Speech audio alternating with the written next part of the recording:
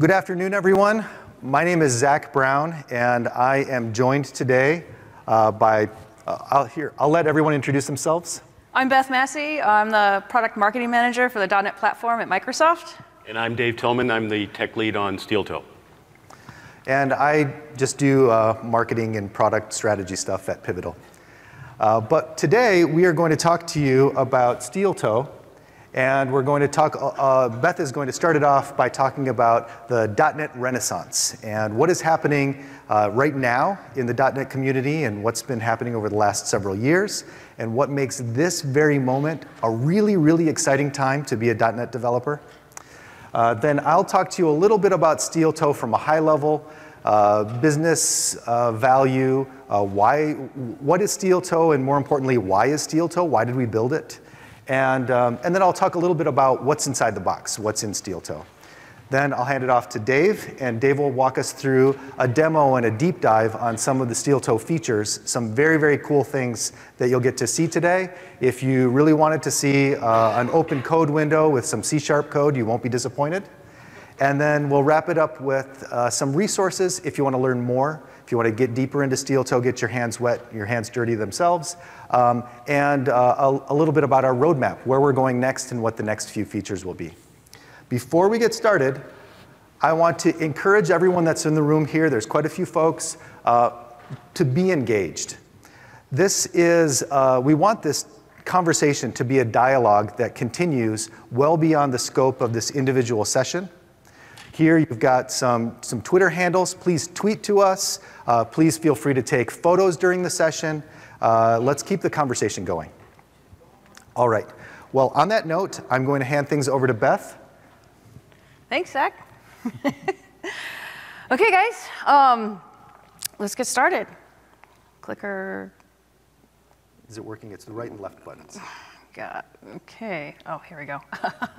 All right, so first off, I wanted to start off with uh, just a little history lesson, and I wanted to say happy birthday to .NET. It's the 15th birthday of when .NET was actually released um, this year. So uh, .NET was released in February of 2002, and um, if you guys have been paying attention at all to any of the .NET blogs or anything like that, we actually earlier this year did a whole set of really cool interviews with a lot of, you know, uh, thinkers in the .NET community, and so it's been a really fun year, um, and uh, we've come a long way. Uh, but if you've been here uh, since the beginning, I think we started releasing alphas like 17 years ago, so it's, it's been a really fun ride. Um, well, I think we all are very familiar with what we released 15 years ago, and that was the .NET framework. Um, so it was the um, implementation of the ECMA 335 uh, common language infrastructure that Microsoft built for building Windows applications. So the implementation of .NET that Microsoft built was for building uh, web and desktop applications on Windows. Over the years, though, there have been many more implementations based on that spec. Mono is actually an open source implementation of .NET. Um, and in fact, Microsoft built a, an implementation called Rotor that was more of an educational um, version of, of, the implementation of that spec. Um, and then about in November 2014, we released what was the open source .NET Core which is another implementation of .NET. So now we have three uh, major implementations of .NET, and over the years, some of these things have fragmented. You know, these implementations were very specific for different types of workloads, and some of the things that happened was some fragmentation in the APIs, naturally, because they were being maintained by different people and different companies. Um, in 2016, Microsoft acquired Xamarin, okay, which the founder, Miguel, Miguel de Icaza, created Mono. And we brought Mono into what's called the .NET Foundation, which is our open source software foundation for building the .NET ecosystem.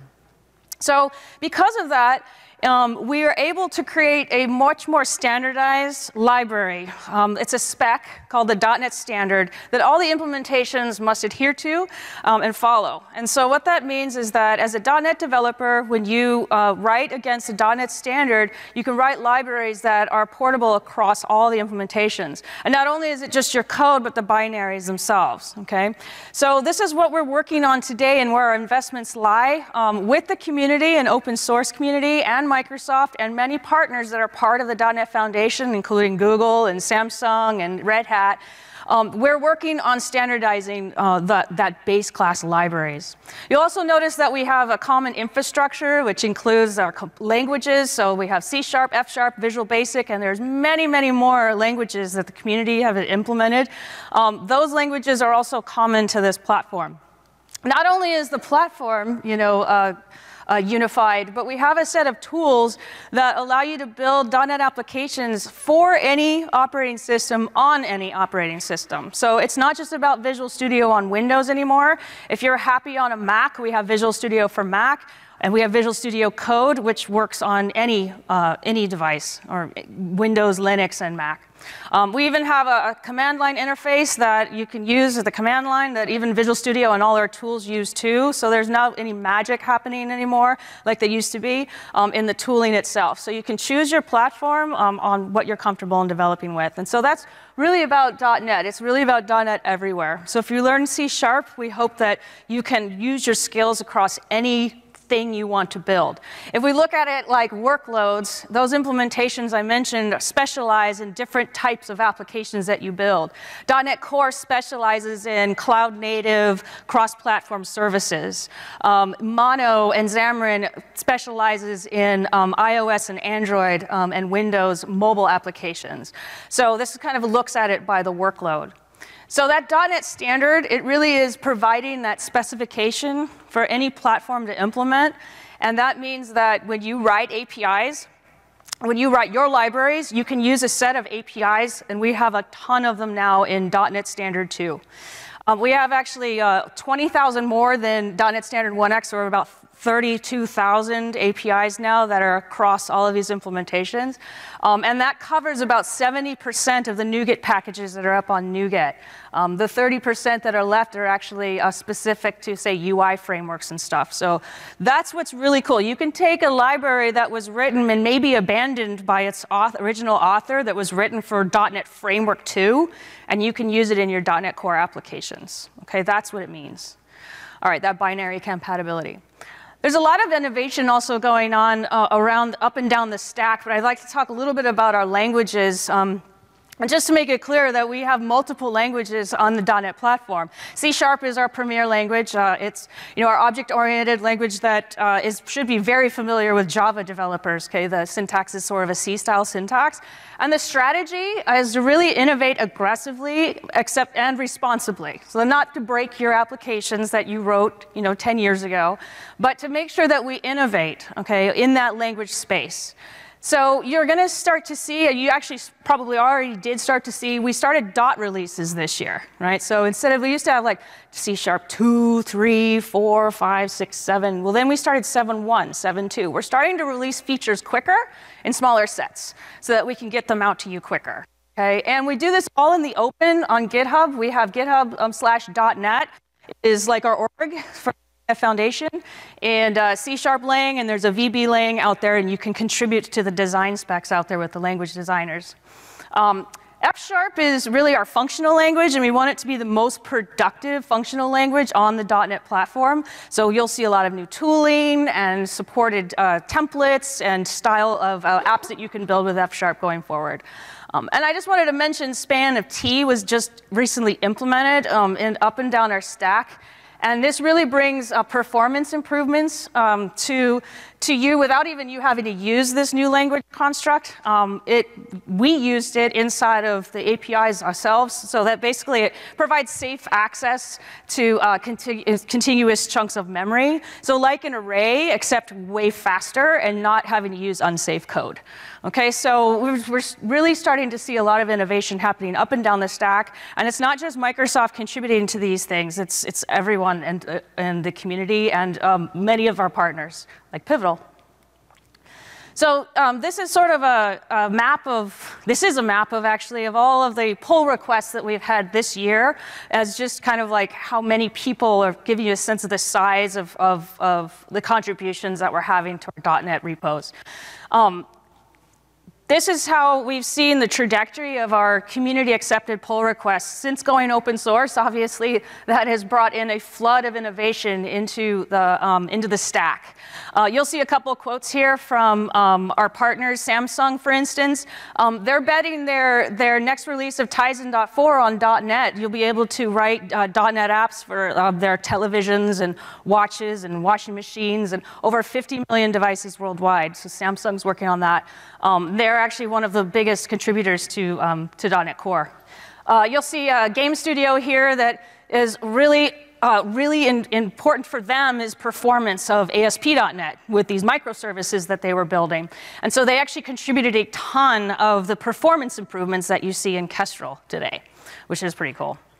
And then I mentioned over you know, 25,000 community contributions from people outside of Microsoft. So that's really, that's really where we're seeing this start of this momentum. And that's kind of what's starting this renaissance, right? This is about not just Microsoft owning and, and shepherding .NET along. It's about the whole entire community and these explosion of ideas and this explosion of just, you know, um, um, excitement around contributing to the, the projects.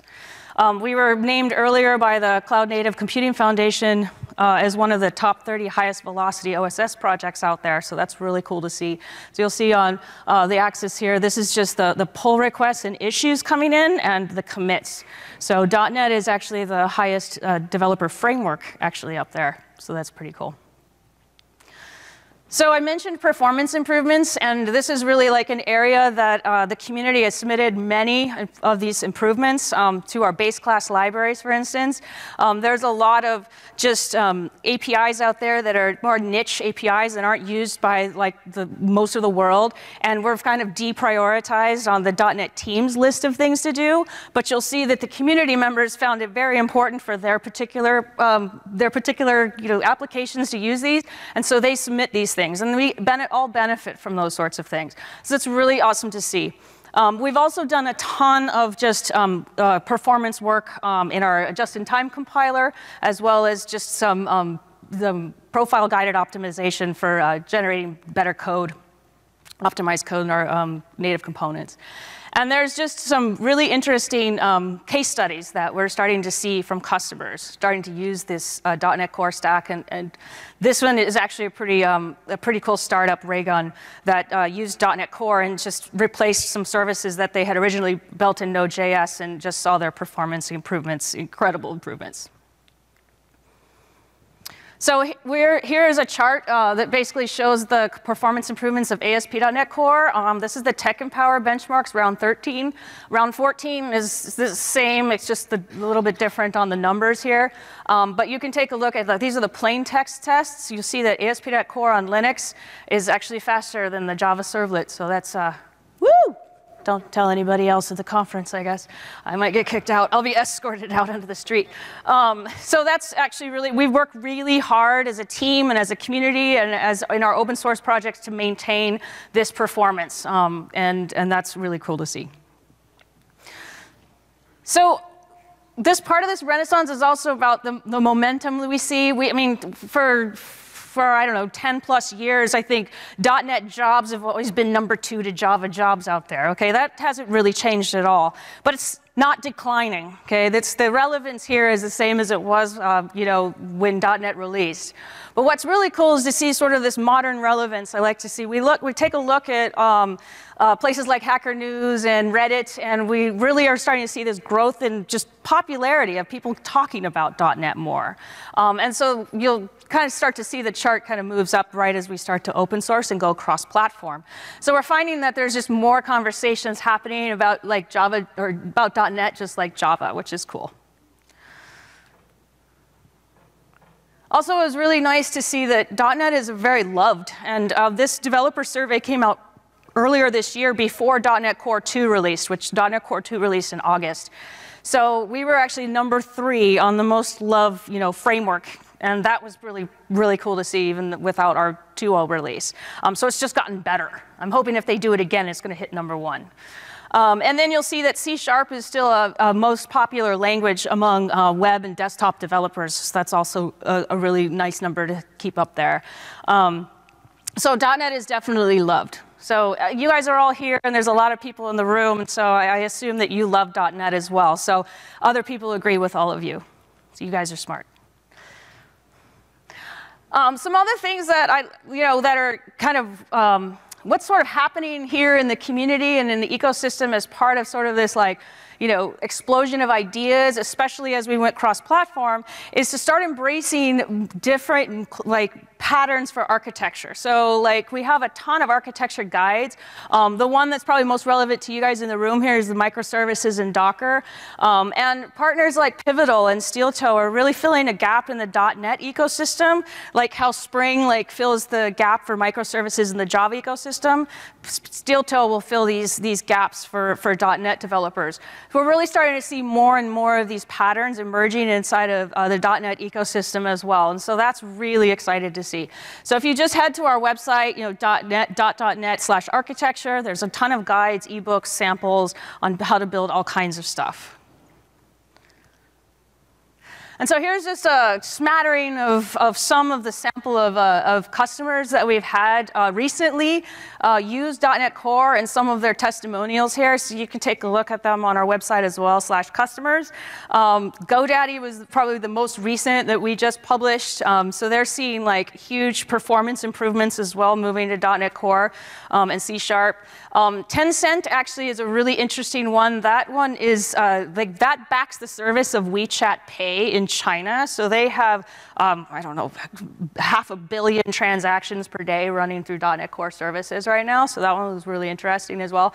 And you know, just fun ones like Astra Reality, Quantum Technologies is just a startup. They're using Unity on um, their on their mobile phone, and they have models like real models of the moon. And you use your phone, and it does an augmented reality and pulls out all this data from Cosmos DB using .NET Core, and like gives you all this information that like an astronomy nerd would love to see on the surface of the moon. So at any rate, there's some really interesting things happening. So all up and down the stack from the cloud all the way down to the devices using .NET.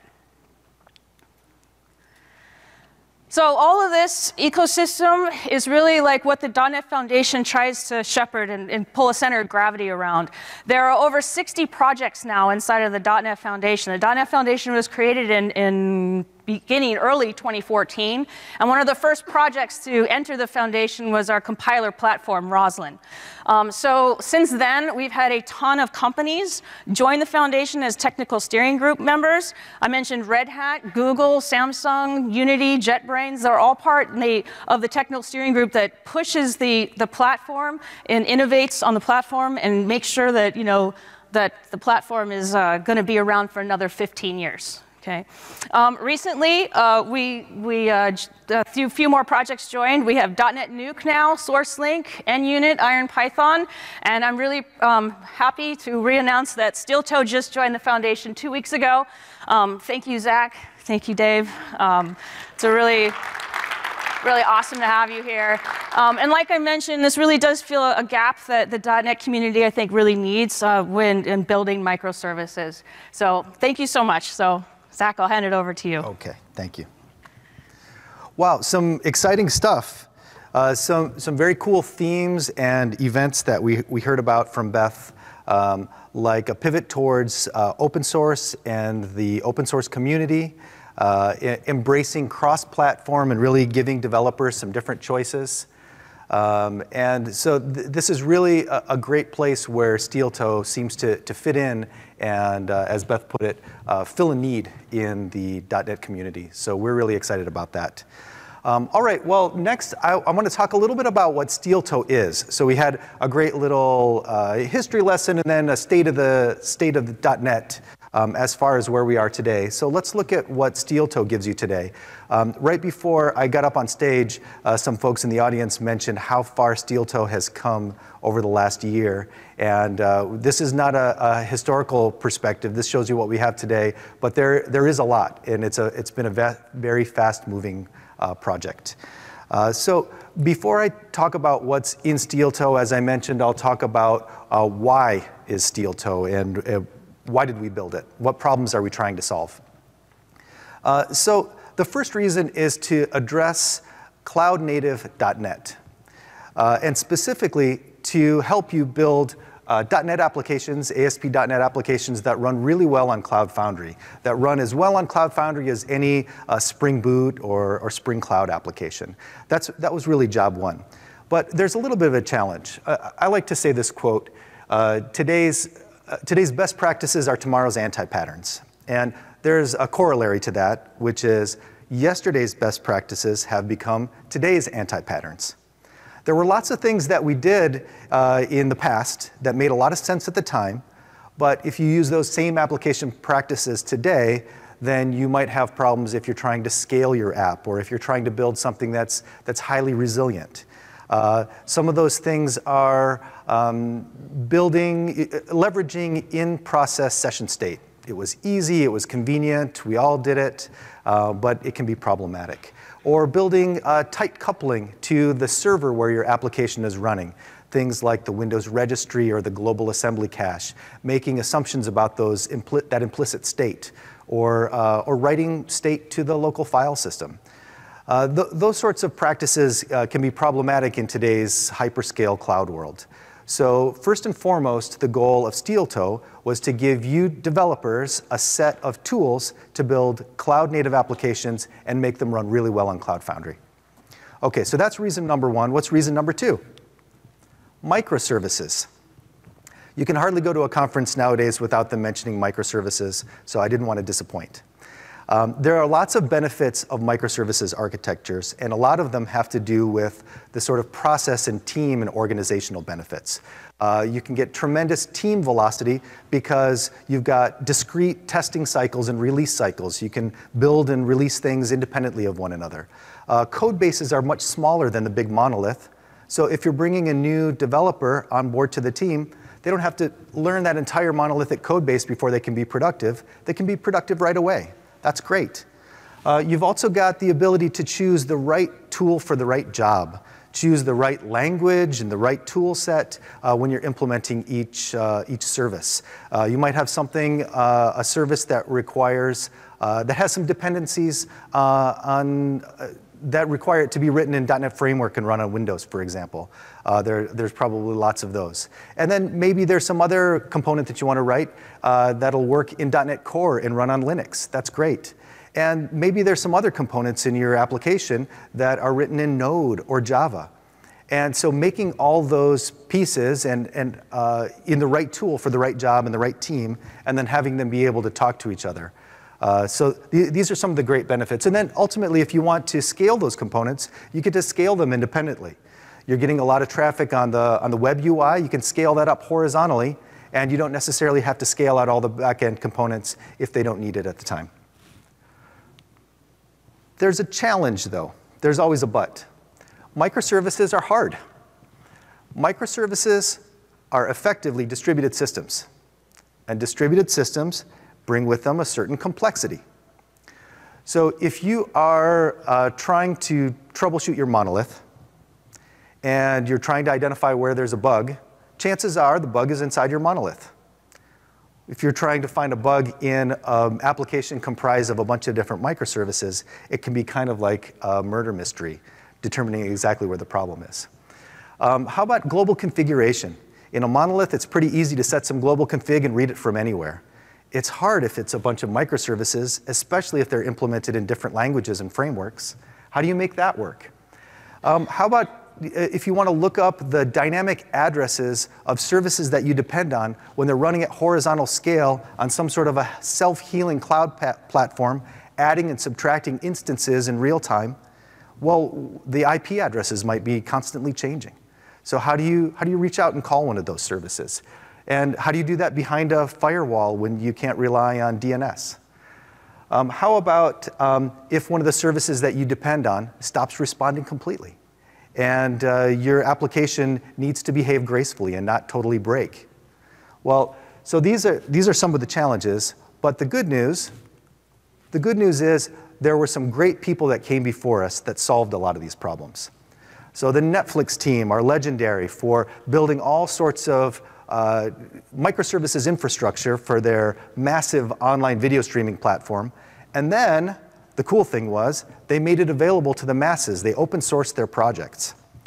Um, but there was a problem. It was all very tightly coupled to AWS, and it wasn't necessarily easy to consume. So the Spring folks, the Spring community came in and made all that available uh, to anyone, anywhere who was using Java, which is if you're a Java developer, but it doesn't do a whole lot for .NET developers. So that's why Steeltoe comes in and brings these patterns to .NET developers. So ultimately, this is why we built Steeltoe to help you build cloud-native .NET applications that run really well on Cloud Foundry and that leverage Spring Cloud tooling for resilient microservices. All right, so this is the why. Let's look a little bit about at what's inside the box.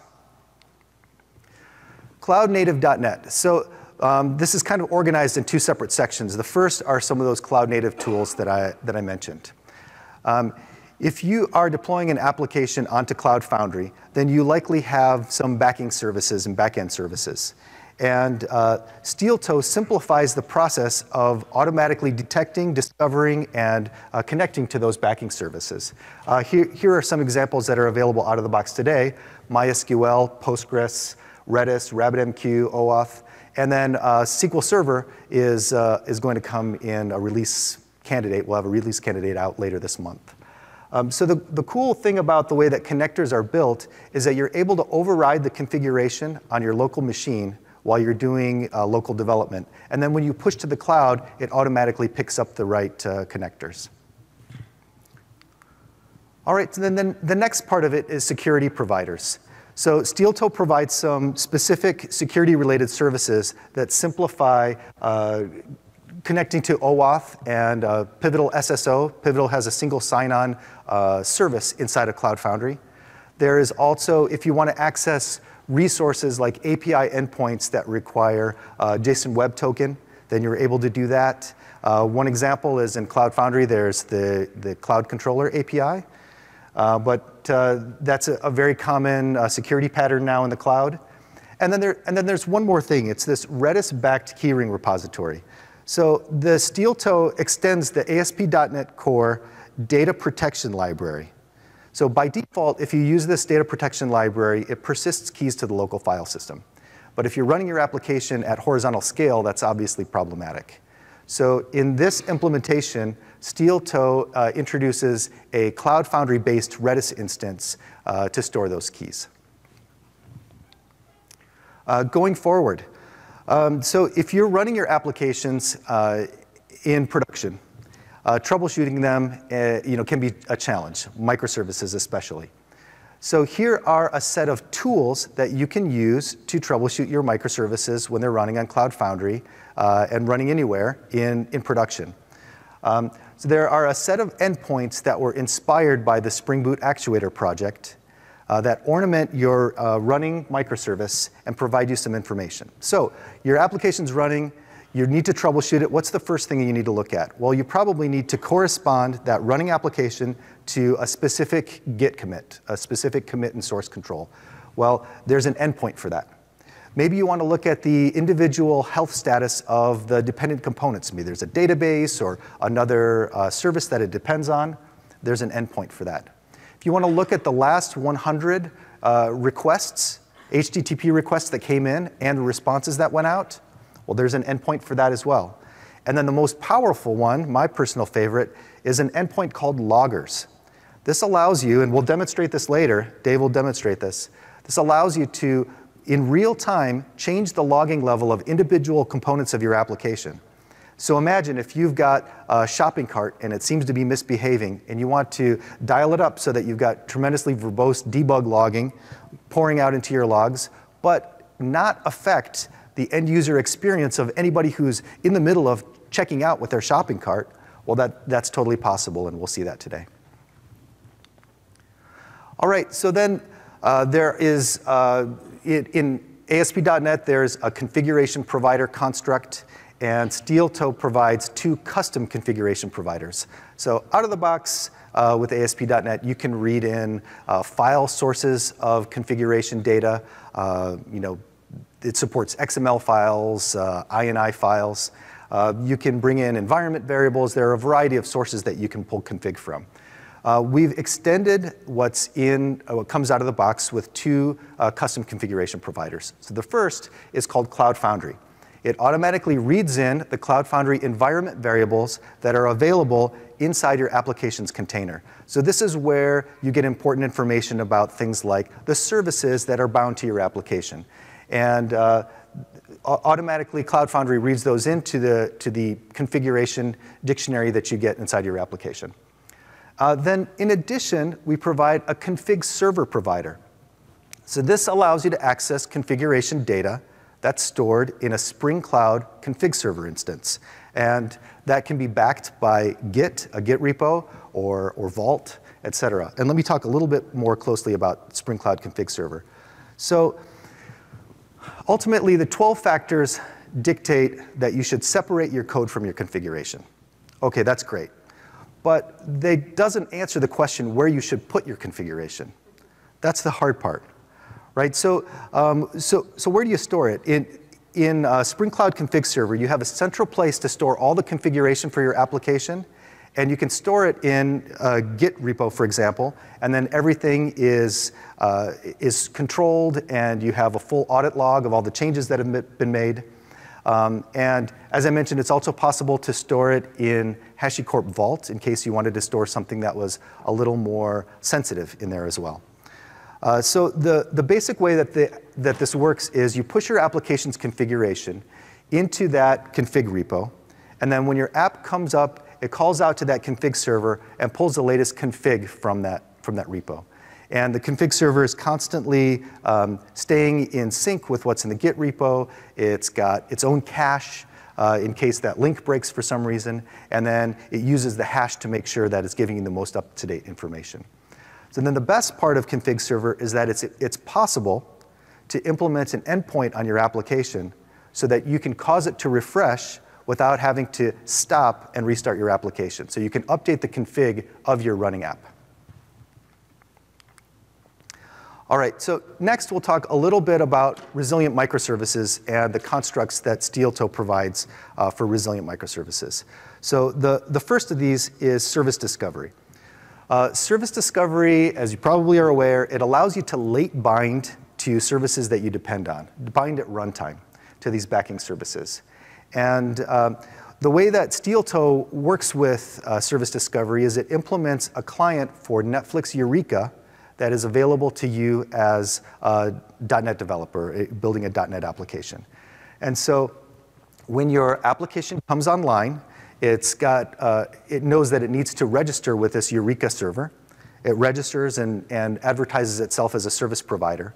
And then when service consumers come online, they reach out and they pull the latest list of healthy instances from the Eureka server.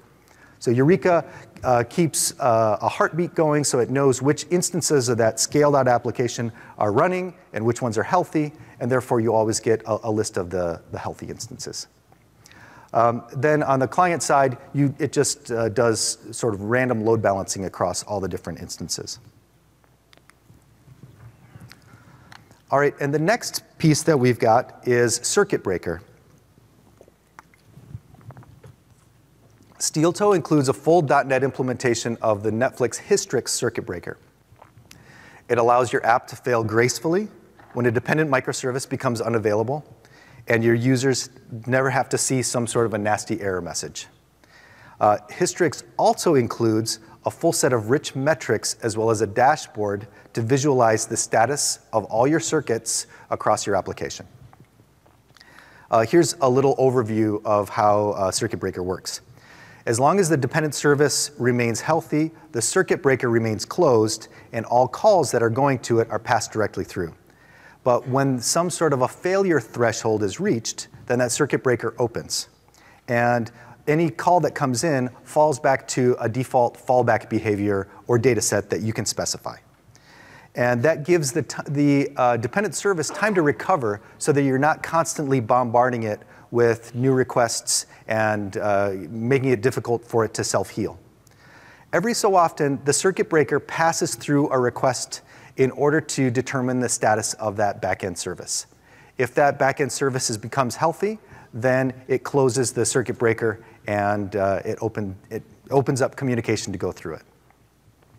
All right, so, so these, are, these are some of the, these are the constructs that are inside of Steeltoe. These are the libraries that are inside of Steeltoe.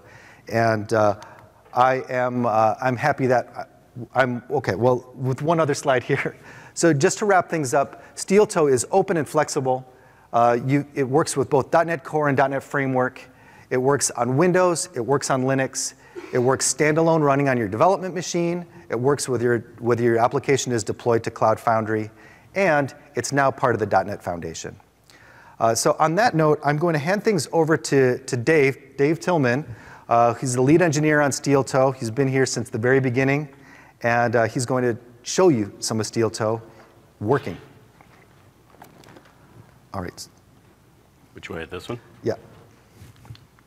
All right. So um, lucky me, I do draw, uh, drew the uh, demo straw. I have to do the demo part of this. Uh, I think Zach uh, stacked it against me. So let's, um, let's hope the demo gods are looking out for us today, and uh, let's see if we can get through this without too much pain. Um, everything was working a minute ago, trust me, okay? So. okay, so uh, here's what we've got. So out in, I think uh, out, out in uh, the uh, Steeltoe OSS GitHub area, we've got uh, a samples uh, directory or samples uh, repo that has all kinds of samples in it. And one of them that's out there is the, something we call the music store. And um, the music store originated from Microsoft. It is, if you go to ASP.NET and look in Microsoft's reference, or look at Microsoft's code code base for AS, ASP.NET Core, you'll find a music store out there. And so what we did is we took that music store and we kind of massaged it a little bit and tried to break it up into some microservices. And uh, this is what we ended up with. We ended up with uh, uh, three back-end microservices, uh, a music store that is able to offer up music and let, let you browse and look at albums by genre, et cetera, et cetera. In fact, I'm, I'm guessing a lot of you, those of you .NET developers, have seen this app before. It's been around for, for quite a while. Microsoft has, has made it available quite, for quite some time. Uh, so we broke out the music store piece uh, separately. We tied it to a MySQL database. Uh, we did a shopping cart and we did order processing. And then we front-ended it with uh, a music UI component, okay? And so what I'm going to demo today is basically this application where we've broken it all up, and then what we did was we used Steeltoe to make it all work together again, right? So you break it up into microservices, now you need to apply things like uh, uh, discovery so that you can discover backend services. You need to have a place that you can centrally store the configuration now for all of these components, right? So that they all, you can centrally manage and, and administer the configuration. So I'm going to go through all those components and the things that we used uh, to build out this now once, once we broke it up and needed to put it back together. So um, uh, let me think what else I needed to say. I think that was it. So let me just break through, let me go through the, uh, through, through all the pieces. So the first thing we did was we had to add the config server into the mix. And so there's a Steeltoe client, as, as Zach mentioned, that allows us to access the configuration server from any one of those four components. Um, and we are now, once we have that in place within our application, we're able to um, centrally manage the configuration for all those components. And I'll show you this here in a, in a, in a few minutes, how easy that was. Uh, the next thing that uh, we did was we had, notice we have some back-end services there.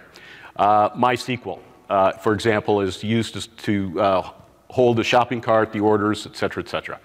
And we also had another service that we plugged in, which is Redis. And let me explain a little bit. So you, obviously, MySQL connection is, is clear what that's all about, right? We're storing uh, the various type, types of information in, in each one of those.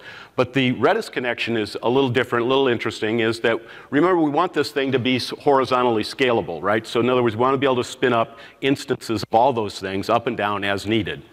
Well, the Music Store app, uh, the Music Store UI portion uses session. And by default in ANC 2.0 or ANC period, uh, session defaults to an in-memory cache, an in-memory uh, uh, cache to hold uh, session state, right? So obviously we needed a different, we needed more of a centralized place to put to hold session.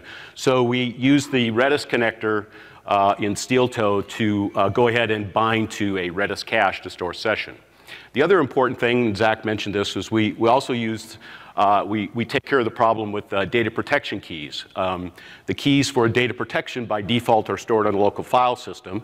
And so when each one of the Music Store UI instances would start up, it would create its own set of keys in this disk space, disk that's going to go away should that Music Store UI app crash. And so we would con constantly, constantly lose uh, our, our keys. So what we do is actually, the, Microsoft already provides as part of ANC, they already provide a way to store the, the keyring up in Redis. So all we really did was we wired up or made it easy so that uh, if you bind a Redis cache to your Music Store UI and push it up into Cloud Foundry, it's running in Cloud Foundry, we wire up that connection so that it, it uh, seamlessly works. And I'll, we'll show you some of that in code here in a bit. Okay, um, moving forward, uh, okay, so we broke it all apart. Now we need to piece it all back together with service discovery. In other words, the music UI needs some way of figuring out how to communicate with the store when we need to browse music, right, and issue the REST calls that uh, exist in the, in the music store. So uh, what we do is we add the Eureka server via Spring Cloud Services on Cloud Foundry. We add the Eureka server into the mix. We make all those components tie into the Eureka server or have access to it so that the music store, the shopping cart, and the order processing component can register with the Eureka server, its service, and the music UI can look up and get uh, the addresses or the endpoints for, uh, for those services. Next, we, um, we want to make this, this uh, app manageable from the uh, uh, Cloud Foundry App Manager. So as Zach mentioned, so this is some of the new stuff we recently added. We uh, added into it very simply the health endpoints, the trace endpoints, the logger stuff, all that, just like Zach explained. It's very simple to add into your, uh, your uh, .NET application and uh, make it now manageable and more visible within Pivotal Cloud Foundry. And so we'll, we'll demo that here first in a second. And then uh, the last thing we did is um, we wanted to build in a little bit of fault tolerant capability to it, right? So what happens if the uh, music store, for example, goes down and becomes unavailable? We'd like for that UI, uh, music UI to still be responsive and still be functional, right? And so we're going to show you uh, how we implemented or made use of Netflix Hystrix uh, to uh, basically wrap requests that we're issuing to that backend music store, and uh, we'll show how the music UI, we'll, we'll crash the music store, and we'll show how the music UI continues to function. Okay? So let's first just start out with the music store, and we'll click around in it to make sure everybody's comfortable and under, understands what it does. So um, the music store is real simple. Um, it, you know, it's an e-commerce type, type application. Uh, if you click home, you get uh, basically a drop, you can get access to a drop down that shows you all the genres that are in the store. Notice we have 15 genres that we can pick from. Uh, we can drill into a specific genre and look at the albums in that genre, and then we can actually dig down into the particular uh, uh, album and get some more information, not a whole lot, but a little bit. At least we find out the cost. Notice we can add it to the cart, do that kind of stuff. We can go through checkout, processing, and all that stuff. So you, get, you generally get the idea, right? Very simple app, really, um, but uh, quite handy to uh, demo how, net, how uh, Steeltoe works. So we've got uh, uh, the store with the, when we hit the home button, we get basically the genres that, that exist. And this is important because I'm going to show you some, some details here in a minute. And then down below, another thing we get is the um, top selling albums. That, that list down here at the very bottom, that's the, the set of top, top selling al albums. Okay, so now I'm going to switch over to the app manager and do a Marco Rubio and um,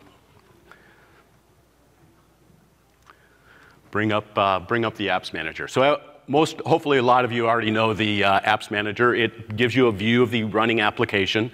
Uh, it's uh, organized by an org and a space. We've got, in this case, the four components pushed into Cloud Foundry. Um, we're running this in the music space.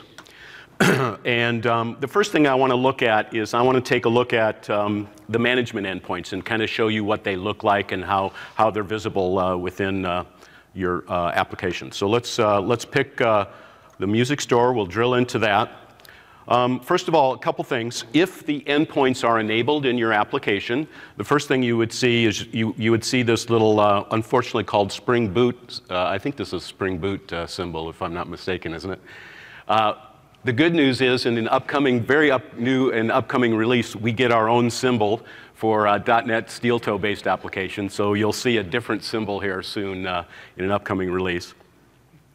Um, and then what happens is if the, if the application's been enabled with these endpoints, these management endpoints, you end up getting some additional uh, uh, uh, things that you can do basically in, in this mode. And the first thing that, that you should see is this little either up or down arrow or, or symbol that represents the health of the application. And when you select that, you basically get this uh, information back that is the status, the health check status of the application itself. And this is more detailed information that you get as a result of than just uh, looking at the memory or the CPU usage or whatever. This actually comes out of the application itself, right? And out of the box, we provide a couple health, and, and the way this works is simply there is a iHealth uh, aggregator that uh, gets put into the service container, uh, ASP.NET service container. And uh, that aggregator then looks at iHealth contributors that exist in the container as well. And then it will call each one of those contributors for it to pr produce its health. And so you as a developer, we provide some out of the box. And I'm showing you uh, one that shows the disk space usage for that particular app. And then there's a MySQL health contributor at the very bottom, okay? And uh, you can write your own. You can write your own custom health, indicate, uh, health, uh, provide, health uh, providers, basically, health information providers. And um, uh, it's very simple to do, it's very easy to do, and in fact, I'll, I'll show you one here in a little bit if I have time. So um, so the and then the health aggregator aggregates up the health report from every, every piece. You can write your own custom health aggregator to, to uh, process the uh, health the way you want, and then it gets reported back down to the, uh, and it just comes down as JSON. If you click this, you actually see the, the JSON that's actually being reported back from the, uh, by, by, from the .NET application. Okay? So that's one of, that's, uh, that's one of the things you get with the, health, with the uh, management endpoints. Um, Zach mentioned uh, the info endpoint. So again, notice the, uh, the Spring Boot, uh, we'll get our own, uh, then the Spring Boot one. Um, here's the, that information Zach mentioned that has the, the git commit in, information. Uh, you, what you have to do is you have to add something into your uh, CS proj file that will actually generate the git information out on file, and then that gets included in the publish and push of the, of the application. That information then is just read and brought back down to the, uh, down to the apps manager here. Um, Zach mentioned trace. Here is, a, here is a list of the trace. Notice uh, we've been hitting the website. Notice there are a couple endpoints there, top selling and genres. Um, if we, uh, for example, if we go back here, do that, go back to the apps manager and refresh, uh, we see we've just updated with some new. If you drill into one of these, you see um, right here, you see basically the request and response. You see how much time it took. This particular request took 16 milliseconds. Uh, and you see all the headers and that sort of stuff. This is also very configurable. In other words, what's included in this trace information, you can configure uh, as well, no problem. Uh, notice that we're showing all instances. So if we had multiple instances, this is, this is a view that's showing uh, trace information from every instance, uh, in this case, the music store. You can drill down into a single instance and just look at that if, if that's important to you. And then uh, this one, uh, which is my favorite, and Zach's favorite too, as I remember. Uh, this one is um, where you get to configure the logging levels for your, for your application. So we can click on that little button, and uh, first thing you notice is that up here in the right corner is the number of actual uh, uh, created loggers that are running in that particular application right now. So there are 95 loggers. Um, we can then begin typing in here and say, uh, say go to music, whoops, music. And uh, notice we got, the, we got things like the store controller, which you'd kind of expect. So we can go and just click on this little uh, tab over here and turn on debug logging for that specific controller. close this, and um, I'll tail the logs here, right here, and we'll go look at, we'll go hit, just hit the website a couple times, and go back here, and now we look down in here, and it's kind of hard to see, but here's some debug logging right here. Uh, get top selling, it's all it prints out, that's all it logs, it's not that fancy, but, and notice we have get genre down here as well, okay? And the, probably the thing that's most important, it's coming out as at, at debug level uh, as well. Okay, and then of course we can go back and say uh, music and you know put it back the way it was because we're done fighting whatever fire. We've captured the information that we needed in order to solve the, the problem, become the hero of the day, right? So that's the idea. So, okay, so that's, um, that's endpoints. Um, let, me, uh, let me show code. Here's some code that shows you how simple it is. This is, uh, this is the music store. This is the startup class. Can you all see that, or do I need to? Uh, let me see if I make that a little bigger. Uh, this is the um, startup for the music store itself, the one we were just looking at. And um, in order to add the endpoints, the management endpoints, you add the endpoints into the service container. Um, add Cloud Foundry actuators is the call. You pass in a configuration just in case you want to customize it with some, some stuff. And then uh, you have to add um, the actuators, they're called actuators, into the uh, pipeline as well. So you do use Cloud Foundry actuators. Uh, you would, of course, if you wanted to, write your own custom. So here's a, here's a health contributor right here. This is the uh, MySQL health contributor. It uh, implements a particular interface. There's a single method you have to implement called health. And it's that simple, really. And uh, you write the code. Now, we have, like I said, we have some out of the box that you can, you can make use of. So, okay. All right, let me look at my list to make sure I don't forget anything. We've talked about logging.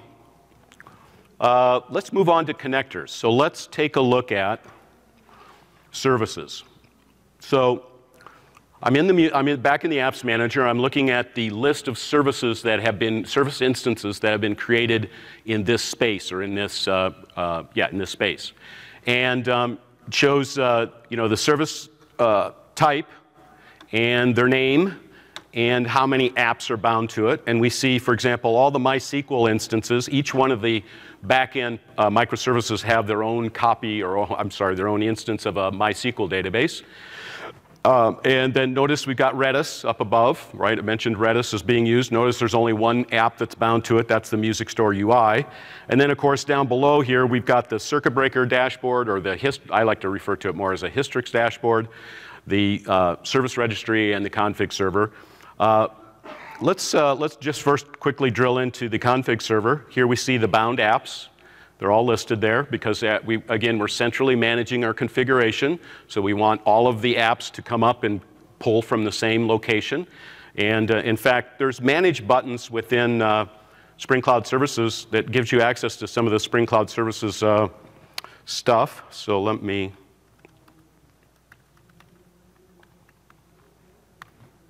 Hopefully I remember my password. Good. So, uh, you know, here's uh, not much here other than it tells us the config server is up and online. We've got uh, here the GitHub repo that we're pulling from. Um, here's what the GitHub repo looks like, just if you're curious. It's basically got, notice that it's got YAML files in it, one for each one of the components of the application. And then there's this one called application.yaml. That's where you can put every, anything that's common to all components into that one, uh, that one uh, YAML file. So when each one of the components starts up, it calls the config server. The config server brings down, based on the application, the right configuration data and gives it to it for startup. That simple. Um, let's look at service discovery. So bring up service discovery. Notice that all four of the apps are, are bound to that service within Cloud Foundry. Let's go ahead and click the Manage button. Uh, so in this, in this case, the, the uh, Steeltoe component is, is uh, uh, Eureka client that's being used to communicate with the Eureka server to do both looks, lookups and registrations of services. Um, let's see, we've got, notice we've got three apps that are registered today, uh, luckily, because that's what we need to run this thing. Um, and then if you click on this little, uh, little button here, you see what instances of that app or that service are actually active at that point in time. So let's, uh, let's do something fun. Let's go back here, go to order processing, and let's, uh, let's just let's add another order processing. What the heck? We got, we're all here together. Let's see how well it comes up. So then we go back over here, and uh, notice that this has gone from one to two. And uh, you know, here we are, we've got two order processing. So what happens is, dynamically, you can scale up and down your application. As they come up and go down, they get registered uh, into the service registry, and then the client is constantly, periodically pulling the service registry down, the Steeltoe client, per periodically pulling the service registry down and making it available. So it will see, momentarily, it will see uh, this new update of, of uh, service information. Likewise, if something crashes and goes away, it eventually gets evicted out of the service registry and things are, things are good. Keep in mind that this, this stuff that I'm talking about applies to Java apps, it applies to any type. This is a polyglot kind of environment, right? So we're not, we're showing you .NET. What we've done with the Steeltoe project is we've enabled you as .NET developers to make use of this infrastructure within your apps on Cloud Foundry. And we're trying to make it as simple and as easy as possible. We're trying to make .NET to be a first-class citizen on Pivotal Cloud Foundry. We want you to build these workloads on, on Cloud Foundry. And that's what Steeltoe is all about. I kind of sounded like a marketing guy at that point, didn't I? Okay, uh, let's see, what else we need to do? Oh, I know, let's look at, um, let's look at uh, Hystrix. All right, so there's only one app bound to the Hystrix dashboard. Uh, let me, let me, it's a music store UI, and I'll explain why. So we'll, let's bring that up. Um, yeah, you can see that pretty good. All right, so what are we looking at? So um, before I dive into what you're seeing on this, on this screen, I probably should explain a little bit. Zach kind of talked about it a little bit, but what Hystrix all, is all about. So Hist Hystrix came uh, Netflix. This is not something that uh, the Spring team or Pivotal invented from scratch. It's something that uh, came from uh, Netflix. And um, uh, it was put in place because of what Zach said. In building highly distributed microservices-based architectures, uh, bad things happen, things fail, things get slow, things get you know, not good. And uh, in order to keep applications up and running, uh, Netflix uh, and responsive, Netflix knew, Netflix understood that they needed to provide some sort of framework to their developers to deal with faults, latency, and that sort of stuff. So they put together framework called Hystrix. And uh, it is a Java framework originally. And uh, what we did in the Steeltoe project is we uh, uh, took that technology and we made a .NET implementation of that so that you can make use of the same uh, infrastructure, the same framework on, uh, on, in a .NET application.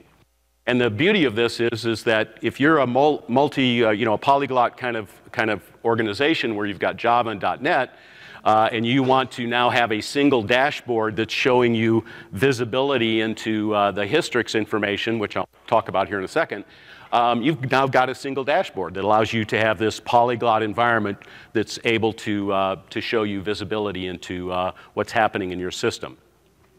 And so what this framework does that, that Netflix did, uh, implemented, was it does two things. One is it gives the programmer a programming model or a structure uh, upon which to deal with faults and latency. Okay, so uh, before this kind of thing was put in place, every programmer would write their own or have to deal with it in their own way, and their structure would not be, uh, would not be uh, all that great, right? So this provides a nice framework, a structure for which their programmers can, and, can deal with faults and latency, et cetera, in their, in their, uh, in their application. The second thing that it does is then, and so the way it works real simply is, is that you have these things called Hystrix commands. You create a class that acts as a wrapper to that external dependency, right? And you inherit from that framework that, uh, that uh, is called Hystrix. you inherit from that, you gain a bunch of things. You inherit some good stuff. You inherit, for example, a circuit breaker pattern if you want to use it that you can enable. You enable a you, you inherit a thread pool, for example, that you can then run all your external requests on. Uh, and you can, you can, control and manage that thread pool. So it, you basically inherit a bunch of great patterns for dealing with fault tolerance, for, for basically implementing fault tolerance in your application, okay?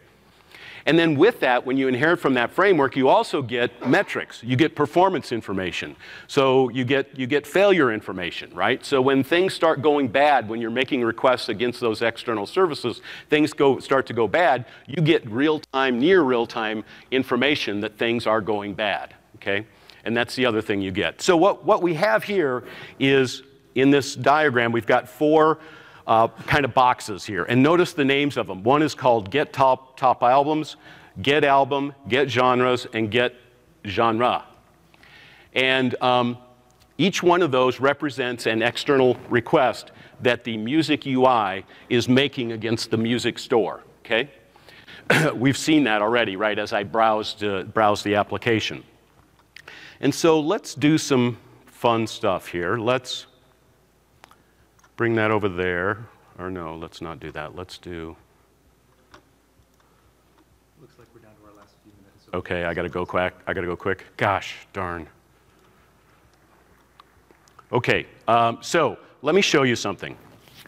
Um, all right, so when people are clicking on the website, notice the, notice the uh, Hystrix dashboard. So when the Hystrix dashboard is, is going along, we, we're getting top albums. We're seeing requests per second showing up over here. We're getting um, get genres because we're pulling in all these genres, okay? And then if we drill into a particular album, we'll see some activity on the album side of things. So it's showing performance data for each one of those activities that we're hitting on the, on the uh, music store. So let's, let's do something fun. Let's, uh, go over here and let's just kill the music store. And you know, we want the store to continue to be responsive. So now we no longer have a music store behind us. But you know what? One of the things we did is we implemented, so I'm clicking away. Imagine I'm a, a big user here. You know, I'm a million users clicking on this website. And um, notice that get genres, we're starting to see some red. That's not good. Red is bad. We see some red. Notice, uh, notice we're seeing 100% failure. So what happened is, for a while, the user was seeing basically um, uh, cached information, basically. The commands that are used to make these requests are um, uh, commands that uh, are, are uh, caching the, the, information as it comes back in. So for a while, the music store UI is just working against a bunch of cached albums and genres and so forth inside. Notice also, if I drill down and go into, am I running out of time, Zach? Yeah, we're over. Down to the last couple minutes. Okay, I'm going to quit here. But so then let's do something really cool. So you saw the fact that it was um, that it was still uh, everything was still up and running. So, you know, let's, let's do the right thing. Let's start up the music store again. And uh, notice that the circuits also broke open. So at some point, based on the number of requests I was doing and how fast I was clicking, by the way, I'm just clicking on the home thing here. And uh, notice that all those circuits closed again, started to close and all the red has gone away. So our UI stayed functional, it stayed running. We actually were running with a scaled down version of the music data so the user could actually check out, buy an album. They just weren't seeing the entire music store, they were seeing a confined version of that. And they, by, doing, by putting it behind the Hystrix commands, you're able to basically shield uh, the UI from, from all that activity. All right, thrilling, almost as thrilling as seeing the space shuttle dock to the International Space Station, huh? Um, okay, uh, so just a, a, couple words on the Steeltoe roadmap. Where are we? Where are we going? What's coming next? We've got a release candidate that's slated for release uh, this month, in December. It's going to include, it, we'll call it 2.0, so this will be 2.0 RC1. And this will include finally full ASP.NET Core 2.0 compatibility. Uh, it'll include uh, support for CredHub. This is a credential vault uh, that's part of the Cloud Foundry ecosystem. And uh, we're also uh, debuting a connector for uh, Microsoft SQL Server, so that's exciting.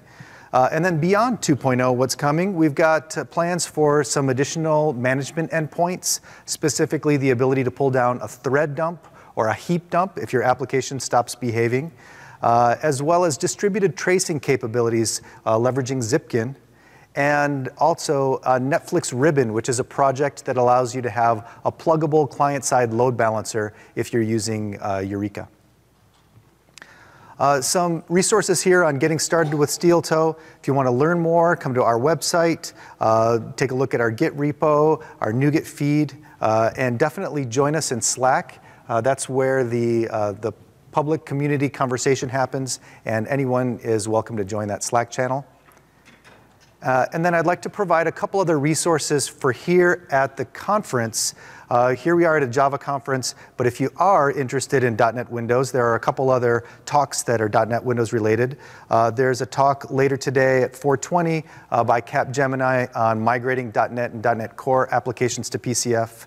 Uh, there's a talk by uh, Charles Schwab on uh, modernizing and migrating to the cloud. Uh, they're a big .NET Windows shop, so that one looks interesting as well. That's later today at 5 o'clock. And then ensuring platform security with Windows using BOSH add-ons and runtime config. Uh, this is a talk by Boeing on operating Windows as an operating system, a server operating system as part of Cloud Foundry. And I want to add one more that's not on my list. Uh, Chris Sterling, who uh, happens to be sitting in the audience, is speaking uh, just, just after this, right, or 340? Uh, on Spring Cloud services. So we, we spoke about Spring Cloud services uh, throughout the talk, uh, Eureka, um, Hystrix, et cetera.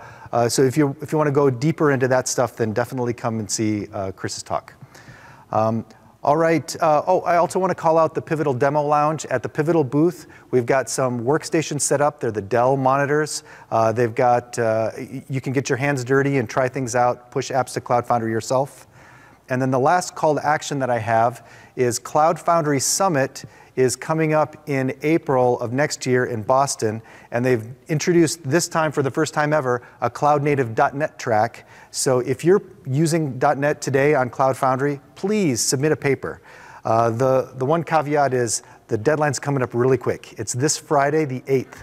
But if you're if, if you've got some uh, some ingenuity, if you've got a plane ride home, then uh, then you can probably get one in in time. So so please submit to uh, Cloud Foundry Summit. And there's the URL if you want to do so. Um, all right, so uh, I, I think that's basically it. Thanks everybody for, for coming. We appreciate your time today.